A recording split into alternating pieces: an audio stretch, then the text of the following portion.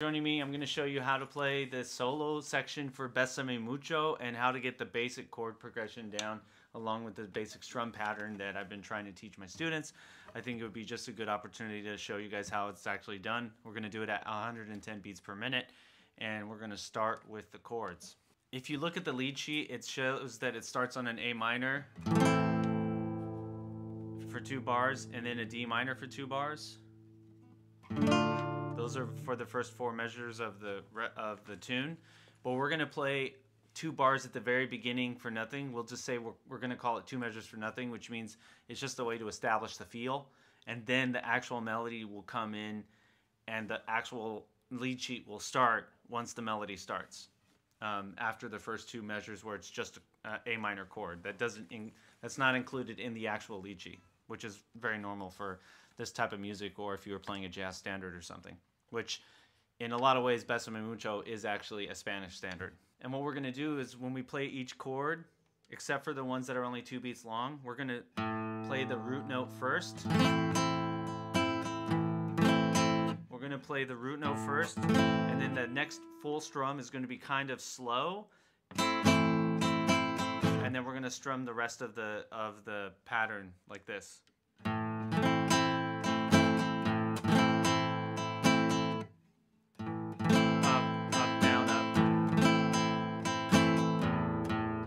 Hit that, we're to try to hit that root note on the beat one of every measure. Let's try it.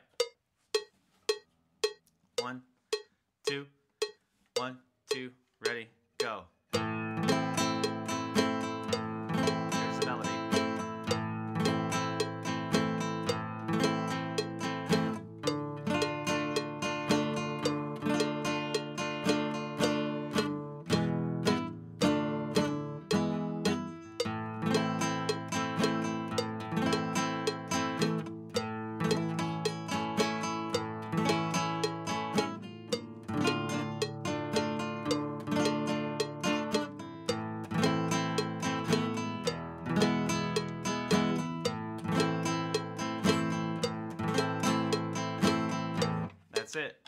That's the first section, A section, which is also going to be the solo. So I'm going to show you guys how the rhythm goes of the melody uh, in the context of just the metronome. And then I, I'll also show you the harmony that I wrote. And then I'll put them all together so you can hear what all of them sound like together. One, two, one, two, three. Here's the A minor to start. And then the actual tune.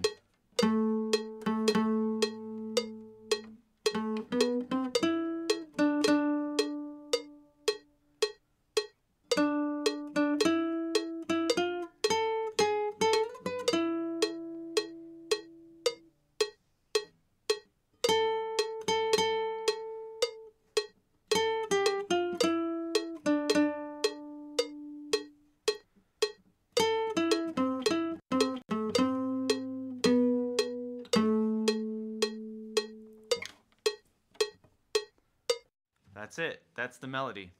Okay, so now I'm going to play the melody with the chords. One, two, one, two, ready,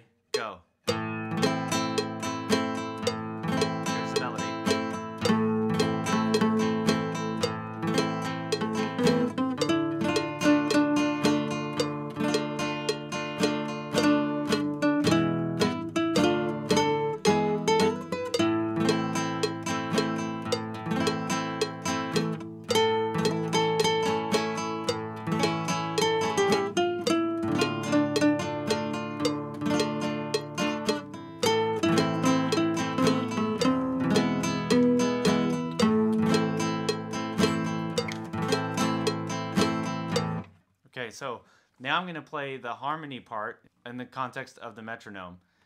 And this is good because you can just follow along on the tab that I wrote and just see if you can play along and get used to what it sounds like by itself. Here's the A minor. And here's the melody in harmony.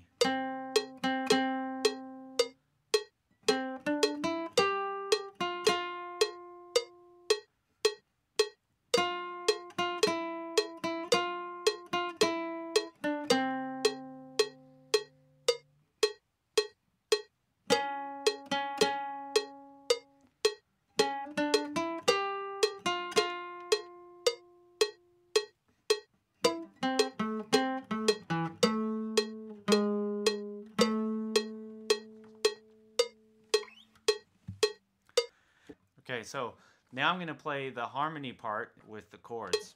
One, two, one, two, ready,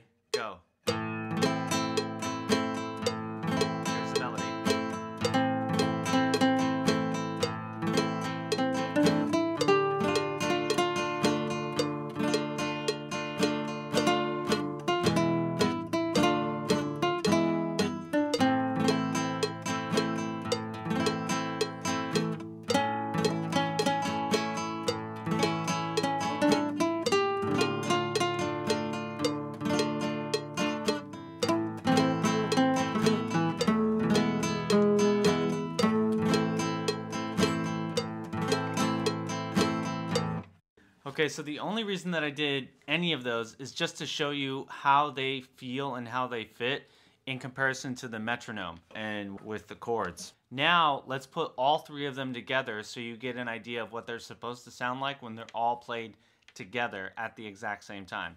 Check it out. One, two, one, two, ready,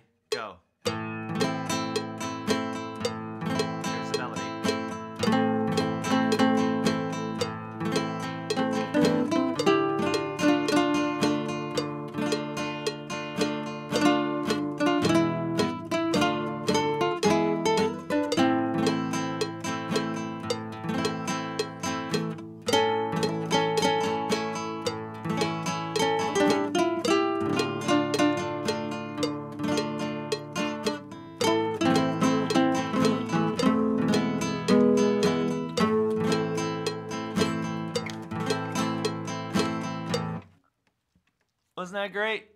Oh man, it sounded great, didn't it? All right, cool. So use the tab. Use this video as a point of reference to know how it's supposed to sound and feel, but use the tab as a reference to show you where your fingers are supposed to go and what frets and notes you're supposed to play on that.